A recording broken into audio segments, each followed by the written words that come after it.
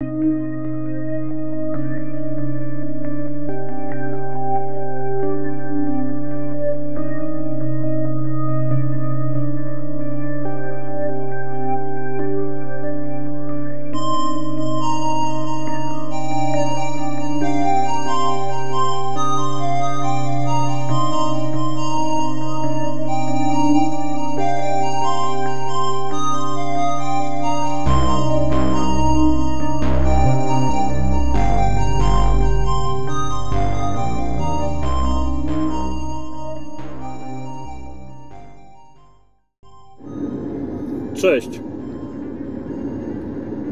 Tym razem y, spróbujemy troszkę inaczej. Y, po 30 odcinkach, y, które zawierały obraz i dźwięk, dalej nagrywam w samochodzie, ale postanowiłem zrezygnować z obrazu. Po prostu z praktycznych względów Łatwiej tak się nagrywa, to raz, a dwa, nie muszę się zastanawiać, co, co tam yy, na wideo się yy, zarejestrowało.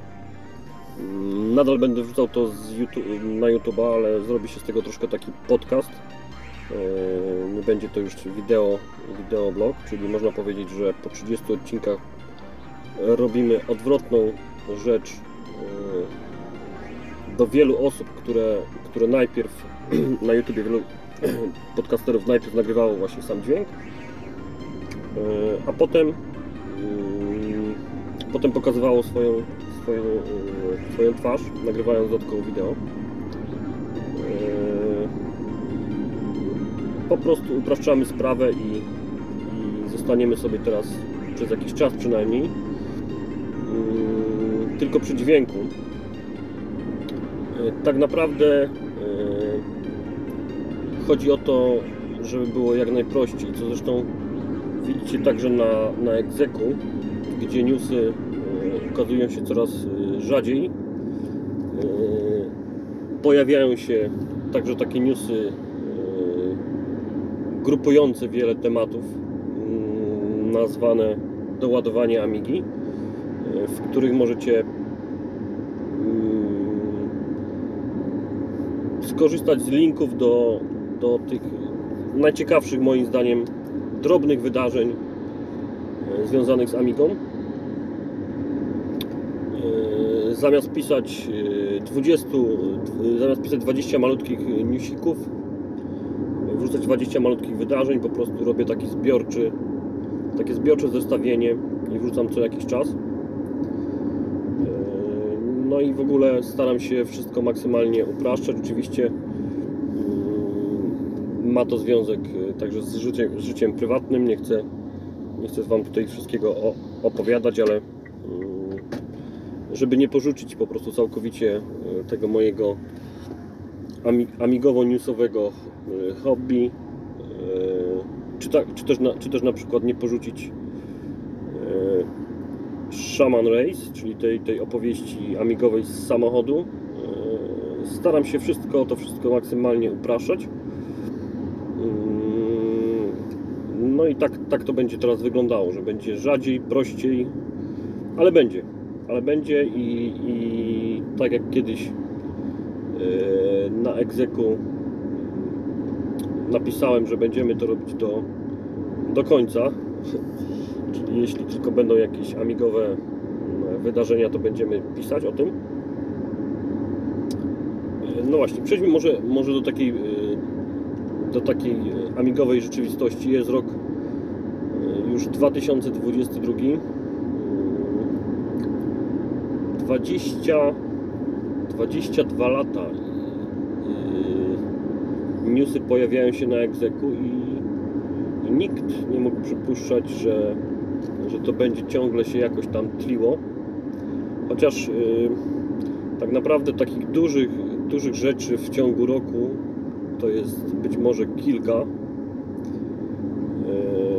ale jednak ciągle to wszystko, ciągle to wszystko się, to ciągle to wszystko idzie do przodu.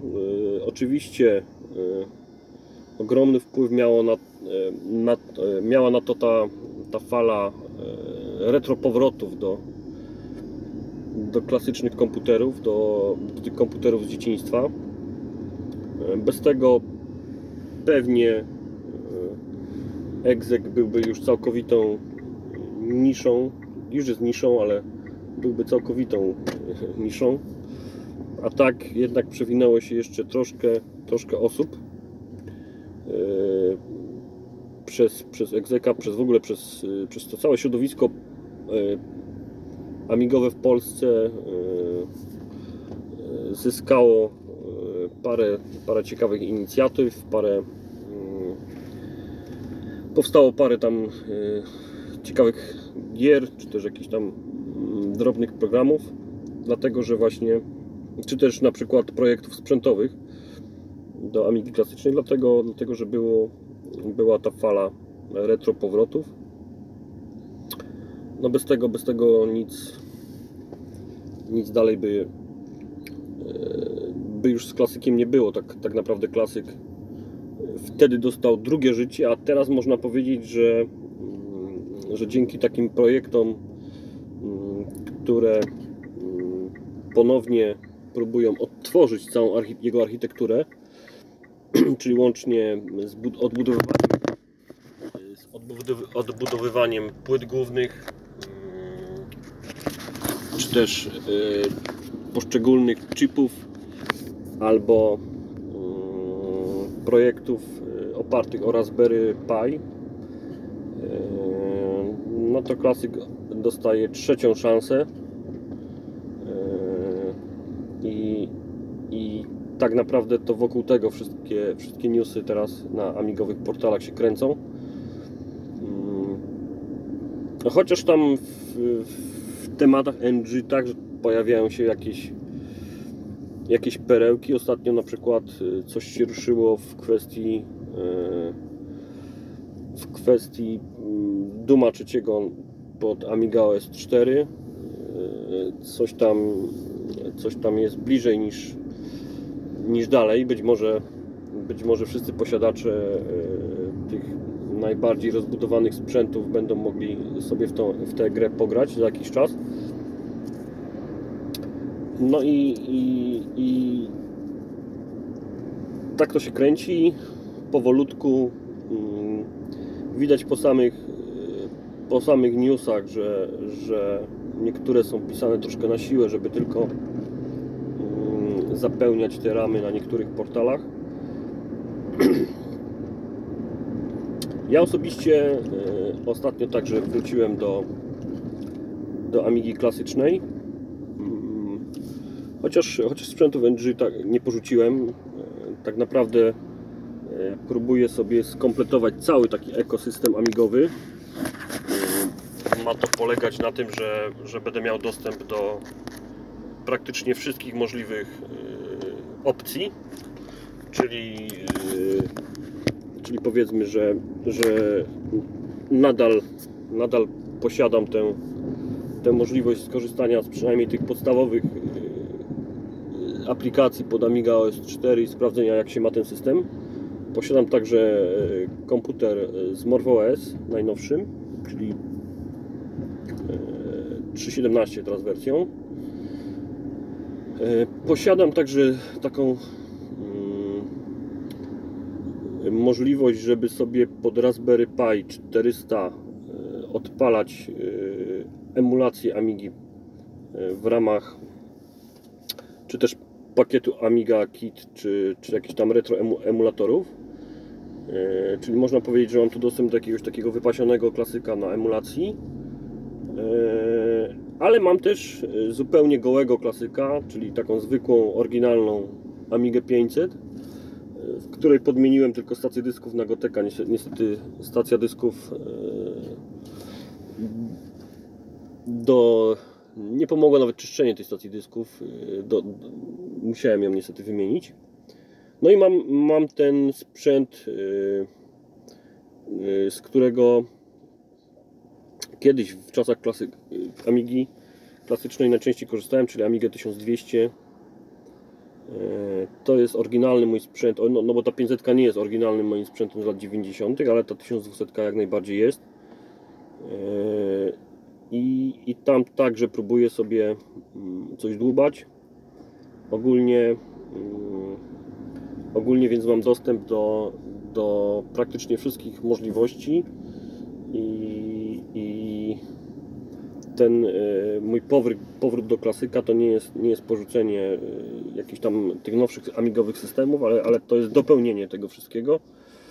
Mm, no nie mam niestety dostępu do, w tej chwili do tych e, emulatorów, czy jak to nazwać, czy nowych rozwiązań takich jak Vampire, czy też P-Storm, czyli dopa, dopala, czyli dopalacza opartego na, na Raspberry Pi, ale być może mm, być może do, do 500 lub właśnie do tej 1200, jak jeżeli, jeżeli P-Storm wyjdzie w takiej wersji do, do Amigi 1200, być może zakupię właśnie taki, taki, taką, taką kartę e, dopalającą. E, no i wtedy już będę miał wszystko u siebie, mm, wszystkie możliwości. No i tak sobie dłubię powolutku, jeżeli, jeżeli mam jakiś czas. Ostatnio, co możecie zobaczyć na moim e, Twitterze, odgrzebałem wszystkie moje dyskietki i sprawdzam, które, które są w jakimś stanie. Więc to wszystko sobie tam wszystko sobie tam porządkuję. Mm, Także, także to jest taka dłubanina przy klasyku. Zresztą przy klasyku zawsze była, była dłubanina. Mm, no ale, ale jak widać e, gdzieś tam mam taką potrzebę w sobie, żeby czasami coś, coś właśnie sobie, czy też przy, przy mm, hardware'ze, czy też przy mm, oprogramowaniu z tego klasyka podłubać. No i tak to, tak, to, tak to się toczy. To wszystko to wszystko u mnie e, dzieje się e, bez żadnej presji aktualnie, bez żadnych, e, żadnego motywowania się jakimś jakimiś, nie wiem, wydarzeniami z, ze świata Amigi, które, które miałyby wy, wywrzeć na mnie jakąś taką presję czasu, że miałbym już na, coś promować, coś, coś coś robić, aby, aby więcej ludzi e, korzystało z tej, mm, z tej Amigi, bo, bo moim zdaniem takie czasy e, promowania tego się już e, dawno skończyły. Mm, pozostały, po, pozostaliśmy już w takich czasach, mm, w czasach, w których nie będzie, trzeba się z tym niestety pogodzić, przypływu Mm, nowych użytkowników, będzie coraz mniej oprogramowania, także e, tak jak w poprzednim odcinku, czy poprzednich odcinkach e, zachęcałem do nauki e, jak najszerszej, najszerszej nauki programowania mm, pod Amigą, bo, bo przyjdą takie czasy, że, że być może, że aby pozyskać jakieś, jakieś oprogramowanie, które którego będziemy potrzebowali, które, którym byśmy się pobawili, a nawet nie wiem, przeportować jakąś małą grę, no to te umiejętności programistyczne e, będą niezbędne. E, oczywiście mm, oczywiście e, satysfakcja z, z, użytkowania takiej gry, na przykład przeportowanej przez samego siebie jest nieporównywalnie większa od, od tego, że, że po prostu ją ściągamy z, z Aminetu czy z OS4 Depot czy z jakiegoś Morphos Zone, czy jak się nazywa ten ten portal z plikami dla Morfosa. Myślę, że, że będzie to też miało swoje, swoje zalety. E, będzie to po prostu inne użytkowanie komputera, bardziej zbliżone do tego, co było w latach 80 tego, gdy ludzie tak naprawdę nie mieli wyjścia i musieli sami e, sami tworzyć sobie to oprogramowanie i sami dopiero wtedy mogli mm, mogli coś uzyskać na tym komputerze, no ale, ale tak jak mówię y, satysfakcja będzie e, milion razy, milion razy większa. Zresztą coraz więcej pojawia się takich osób w naszym środowisku. Znaczy, można powiedzieć, że wszystkie te osoby kreatywne, które zostały w naszym środowisku, to właśnie tym się zajmują. Nie wiem, czy, to, czy zwróciliście na to uwagę, że, że są osoby, nawet te tworzące hardware do, do Amigi klasycznej, których tak naprawdę samo amigowanie, samo nie wiem, odpalanie po raz y, setny tych gier na Amidze klasycznej, czy też, nie wiem, bawienie się ikonkami na, na blacie Workbencha już w ogóle nie interesuje. Interesuje ich tylko tworzenie, tworzenie tego, proces twórczy wokół y, tej Amigi klasycznej, czyli, nie wiem, pisanie mm, nowego, nowego sposobu mm, wykorzystania na przykład Raspberry Pi z, razem z Amigą klasyczną, napisanie sterowników do tego, napisanie mm, napisanie jakiegoś nowego zupełnie, stworzenie nowego zupełnie em, em, e, emulatora, sposobu na emulowanie. Ten, tylko ten proces twórczy ich kręci i tylko dlatego są jeszcze w tym środowisku. Gdyby im to zabrać i dać im tylko samo użytkowanie tej Amigi, to, to, to daliby sobie z tym po prostu e, spokój. Yy, no i myślę, że, że docelowo, docelowo wszyscy gdzieś tam w ich okolicach, mm, wszyscy, wszyscy gdzieś tam w tych, ich okolicach wylądujemy, że te osoby, które e, nie będą zainteresowane takim procesem twórczym, po prostu będą odchodzić ze środowiska. Mm, nawet te osoby, które piszą artykuły, będą mogły, mogły jeszcze jakoś tutaj, e, będzie im to sprawiało przyjemność po prostu, tak? Czyli Czyli najgorsze czasy tak naprawdę yy, nadchodzą dla osób, które nie są twór, twórcze. Tych, no, bo, no bo ile można ogrywać yy, te same pozycje, czy też yy, przeglądać ten sam indeks z oprogramowaniem.